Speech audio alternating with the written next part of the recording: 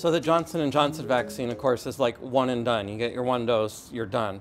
But for the Pfizer and Moderna vaccine, it's two doses, either three or four weeks apart, depending on which one you get.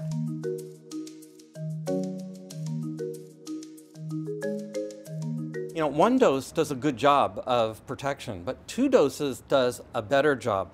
A study just came out from the CDC looking at those 65 years of age and older, and what they found was they found one dose protection was 64%, two dose protection 94%.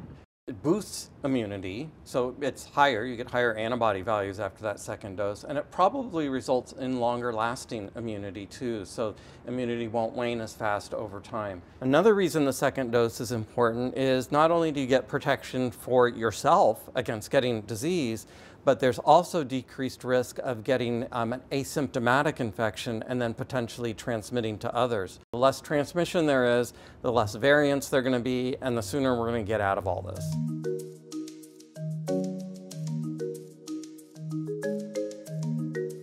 Some people are, are delayed getting that second dose, so it should be three weeks later for the Pfizer vaccine, four weeks later for Moderna vaccine. If it's longer than that for you, if it's longer than that, you don't have to restart the vaccine series. You just pick up where you left off. So even if it's five weeks, six weeks, even if it's two or three months, just get that second dose. So the CDC would like you to get that dose on schedule, but if it's delayed, you don't have to restart the vaccine series. No need for extra doses.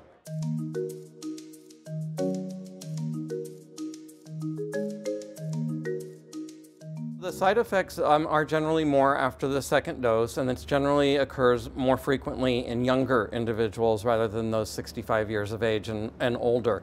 Um, usually these side effects are things like fever, um, body aches, headaches, uh, fatigue, things like this. Usually this lasts for a day or two. And so what we've been recommending is you know, don't schedule your second dose um, the day before you have like a big presentation or a test or something important that you want to do. You know, a lot of people who value their school or work will schedule the second dose like on a Friday so that they can recover on a Saturday. And then if you do feel bad following that second dose, you know, take, take an anti-inflammatory, take Tylenol, Motrin, ibuprofen, take something like that. That'll make you feel better. We're not recommending that prophylactically. We're not recommending that um, taking it before you get the shot because there's theoretical reasons to think that if you do that, it can reduce the immune response. But if you have symptoms attributed to getting immunized afterwards, it's fully safe to, to take anti-inflammatories then, and that'll make you feel better.